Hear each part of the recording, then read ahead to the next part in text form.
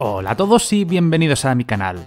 Seguramente alguna vez has querido que tus ilustraciones digitales tuvieran ese estilo de anime antiguo que tenían las series que veíamos de los 90, cuando se fotografiaba fotograma a fotograma todos los dibujos que eran pintados a mano. Ahora con las técnicas digitales es mucho más sencillo montar un capítulo, pero el resultado no sigue siendo el mismo. Pues en pocos pasos te voy a enseñar cómo pasar de esto a esto. Es una serie de pasos a los que yo les voy a llamar Vamos a hacerlo con programas gratuitos, porque ya sabes que en este canal somos anti-piratería. ¿Para qué voy a piratear algo o tener que pagar por ello si lo puedo tener gratis? En este caso, en lugar de usar Photoshop, vamos a utilizar Photopea. Dejaré el link en la cajita de descripción para que puedas acceder. Es un Photoshop básicamente, pero en web. No tienes ni que instalar el programa. Pues vamos a ello. Lo primero que vamos a hacer es abrir el dibujo que queremos convertir con el efecto de anime de los 90. Le daremos abrir y cargamos el dibujo. Este dibujo lo hice el otro día, por ejemplo, y se puede apreciar que está con una definición que es un dibujo digital, con la paleta de colores del anime de los 90, pero tiene una resolución muy elevada, ¿vale? Si hacemos, por ejemplo, un zoom y ampliamos, se puede ver que la línea está perfecta, ¿vale? Al final es un dibujo digital y no tiene, no tiene más. El fondo también es de la serie. Entonces, claro, queda bien, pero ya veréis el resultado ahora.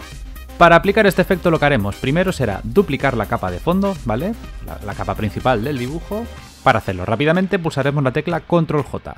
Vale, de esta forma hemos duplicado la capa. Ahora nos iremos a filtro, desenfoque y desenfoque gaussiano. Le aplicaremos un 50. Una vez que lo hemos cargado le damos así y le bajaremos la opacidad a un 30-32% más o menos, por aquí.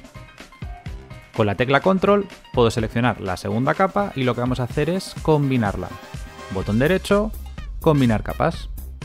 Bien, una vez que tenemos esta capa lo que vamos a hacer es crear tres nuevas capas en base a esta. Para ello, como hemos hecho antes, control J tres veces. Y de esta forma creo tres capas.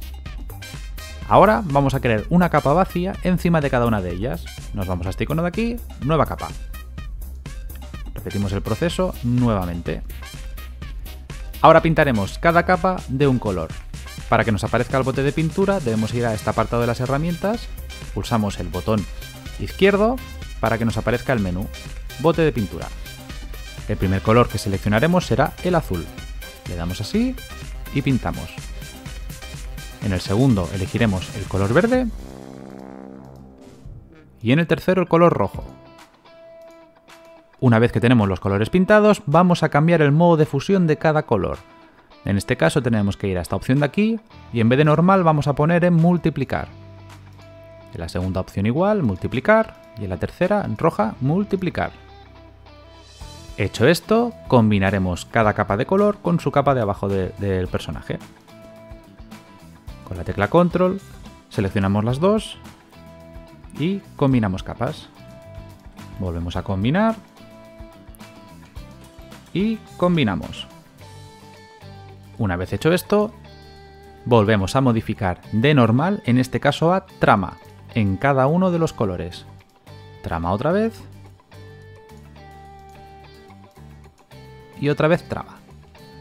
Ahora lo que haremos será, en la capa roja vamos a mover un píxel a la derecha y en la capa verde vamos a mover un píxel a la izquierda. Para ello seleccionamos la herramienta de mover y movemos un píxel a la derecha con la tecla control más flechita a la derecha.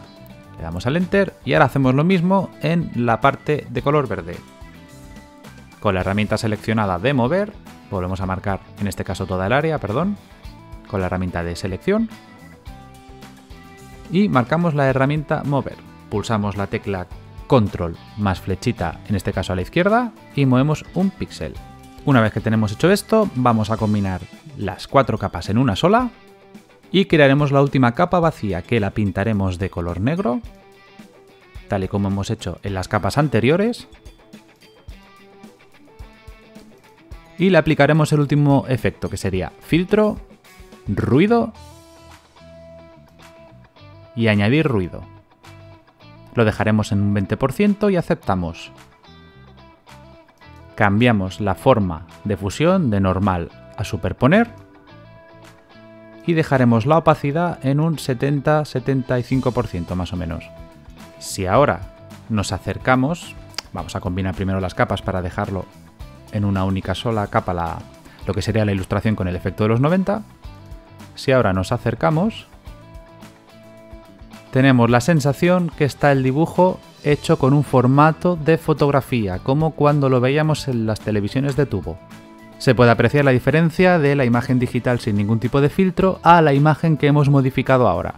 Voy a poner una serie de ejemplos eh, con imágenes random que he podido coger de fotogramas de, de la serie Dragon Ball Super para que se pueda ver el ejemplo y se puede apreciar cómo se vería en formato normal y con el formato viejuno que os acabo de enseñar. Espero que os haya gustado y hasta la próxima. Si te ha gustado este vídeo dale like y suscríbete anda, que no cuesta nada, para no perderte más tutoriales, programas gratuitos y muchos trucos más. Para más info y descarga de materiales gratis visita la web que aparece abajo, en la caja de descripción. ¡Hasta pronto!